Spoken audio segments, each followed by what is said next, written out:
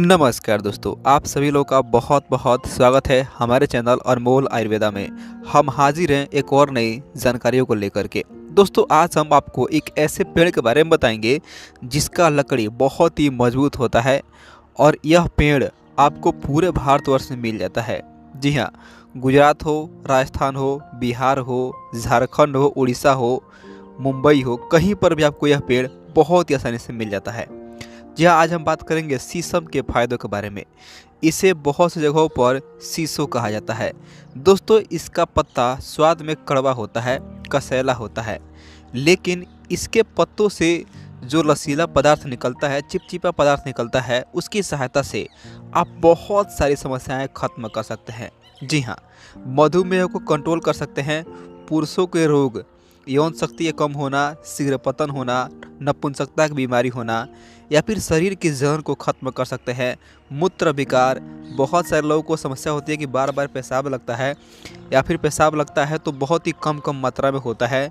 तो मूत्र विकार को भी खत्म कर सकते हैं। जोड़ों का दर्द हो, आँखों की लालिमा हो, आप इन सभी समस्याओं को ख़त्म कर सकते हैं। तो दोस्तों, वीडियो आपको पसंद आता है तो वीडियो को लाइक करें। और अभी तक आपने हमारे चैनल को सब्सक्राइब नहीं किए हैं तो हमारे चैनल को सब्सक्राइब कर लें।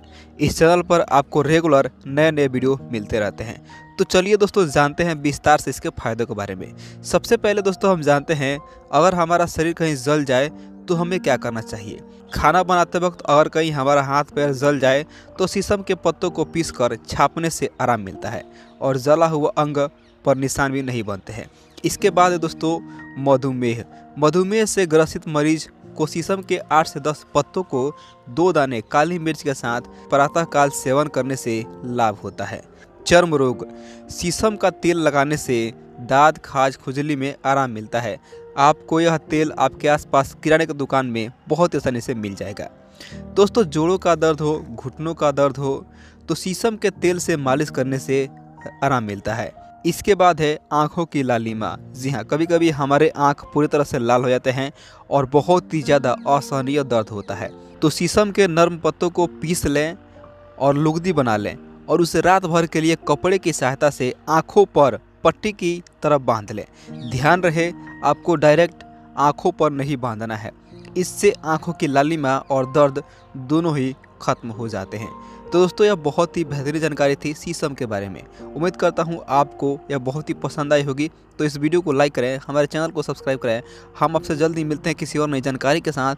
तब तक के लिए आप सभी का बहुत बहुत धन्यवाद। नमस्कार दोस्तों।